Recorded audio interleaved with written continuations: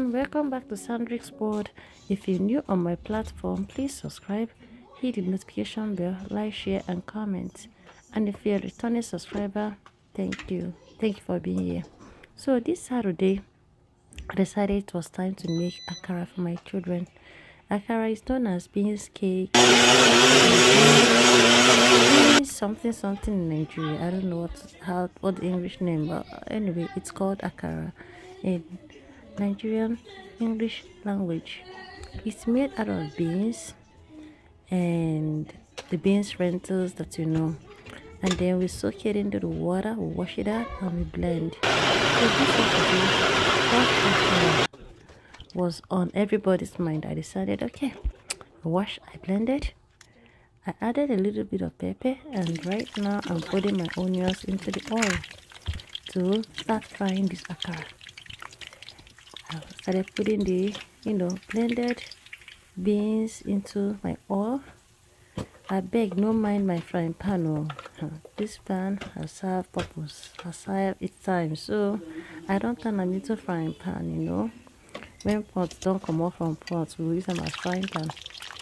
Well this is the fourth batch my dear. I needed to invite the whole you know, community, my community come tell this sakara. This sakara was first grade.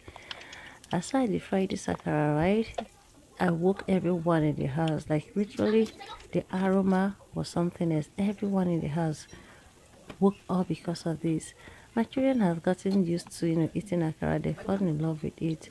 Initially, it was a struggle, but gradually they begin to like it. You know, and I try to make sure I don't put a lot of you know pepper when I make yours. Even though my own I could add pepper like ah, see the sakara, see the hot. And it's best when it was like if I made the sakara during the winter, oh my goodness. After I eat it, we eat it, oh god, you will come back for more. So as you just see, I fry but uh, as I fry, I see the come out to I fry how many batch of akara yeah? And this sakara went round the home like we ate the sakara so so quick like it was mcdonald's. See? There was no oil it was didn't soak oil it was like literally so good. And akara is a healthy food you know. It's made out of beans and as long as it does not soak oil like there's no oil in the akara like it's really healthy and it's another way for your kids to have protein even now that i don't it's i'm confused that beans is no longer protein it's not considered as proteinous food anyway after i made akara i realized that ah i had my sliced yam oh. you know that sliced yam that i i showed you guys how to preserve, preserve your african yam i said ah it's time to fry yam oh. so i put into you know my microwave to just because i've been in the freezer and i to defrost it added my onions into it guys. You need to add onions in your oil when you want to fry yam. I'm going to show you another way of you know frying this yam. This yam i call it obwenge yam. I made it with you know honey. It's called honey crispy yam. I had my oil honey in it liquid honey and i added a little bit a pinch of salt eh i come mix some. I mixed it so well so that i incorporated the oil the salt into the yam and then i turn them into my hot oil. My dear i allow this thing to fry. You see as this oil is just shh shh shh with the yam my dear.